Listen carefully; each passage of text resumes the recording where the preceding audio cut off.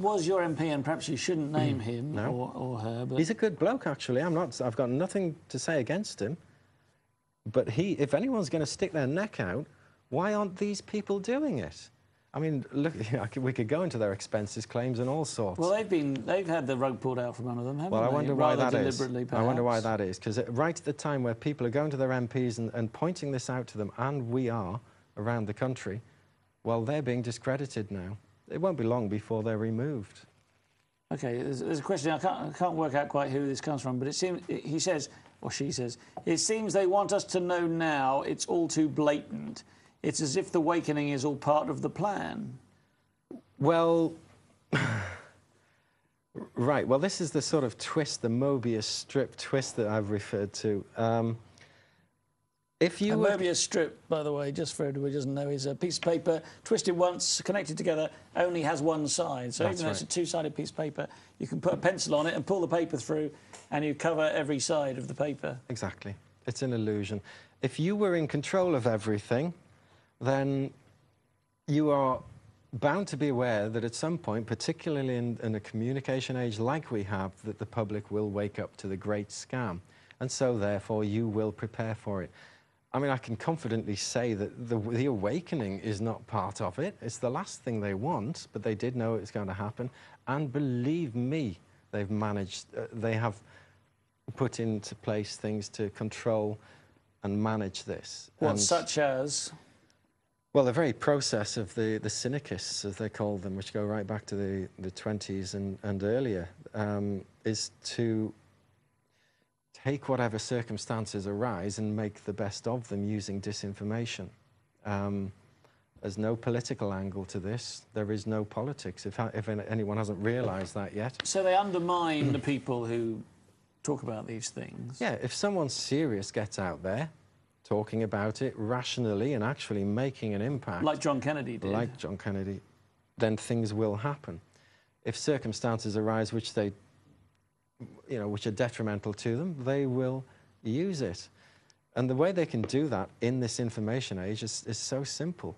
You know, there are lots of people who have got off their backsides, are sticking their necks out, are spending their own money, you know, going bankrupt, whatever, throwing their lives into revealing something that the British public and the global public need to know.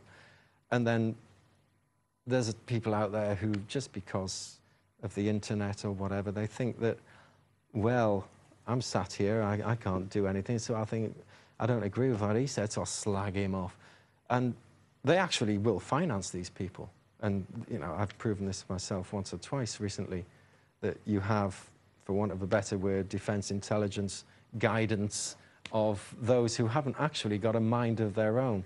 They can't So put it's like rent a mob, isn't Rent, it? it's rent a goon, basically. they these people who don't actually have a mind or can't actually present their case.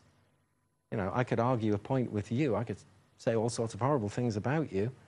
Please do. But I'd rather sit here and, and if I disagreed with you, I'd rather say, well, I disagree because I think this is it. And then you can discuss it. Not these people. They'll attack you because that's all they're capable of doing. Now, I know you've been attacked, haven't you? You've had threats made and certain things have happened to you. From, from all angles. Do you want to describe some of those events or not? Well, it, it's usually, uh, it depends how far back you want to go. Um, Well, since you became a thorn in their side.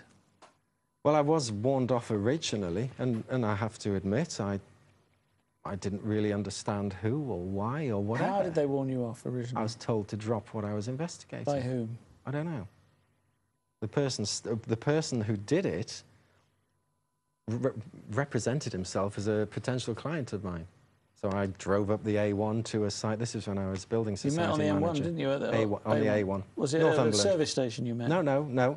I drove up the A1 to a plot of land just off the A1 to meet this potential client, and we're discussing mortgage finance and so on. Um, and of course, introductions were made, very canny guy. Um, and it just sort of went from there. He said, I'm not actually here to do that. I'm here to give you a warning. And it was like, well, how would you react? You know, Well, su- with it's surprise. like I surprise. It's like, yes. uh, So what did he say with his warning? How serious was the warning? drop it. Drop what you're investigating. And I said, well, what am I, what are you talking about, man? You know, I don't know what the hell you're on about. Um, He said the, the banking stuff. I mean, I'm not going to go word for word into it, but Why I. not? Hmm? It's after nine. Well, because it's after nine now, is it? It is.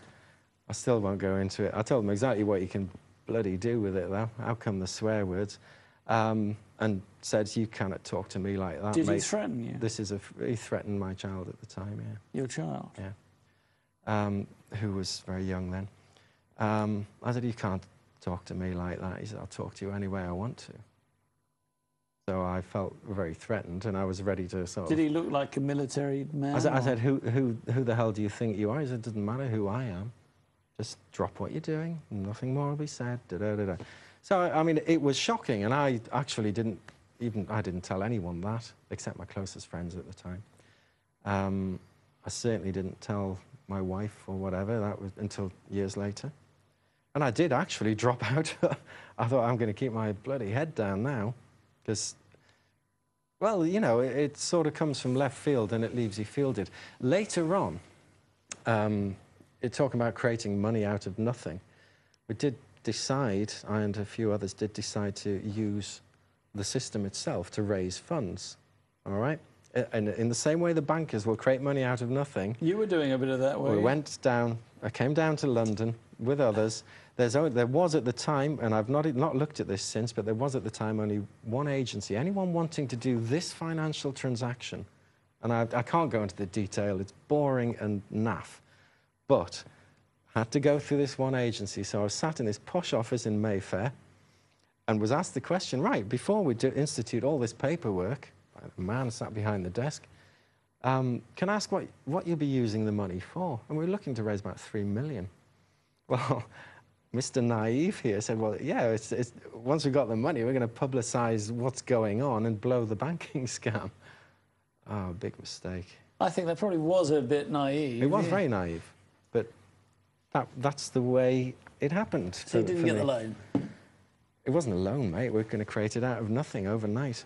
Um, just one of the secrets of the financial system. Now, you know what's going to happen now? Everybody who's watching this show will Mm. be saying, well, mm, can you tell me how you do that? Well, the same way as the bankers do it. You, you raise an asset which has a value of, let's say, I don't know, £100,000, only overnight. You need someone to back this for you. You get the asset and then you trade on that asset 10 times over, repay the loan that you got to buy the asset and keep the rest. So we we're going for about £3 million. well, why, why didn't you do it again? Because there's only one agency through which you could do it. Well, you could have got a friend, I suppose, to do it, or... You could do, but when it, it's basically a, an intelligence net operation.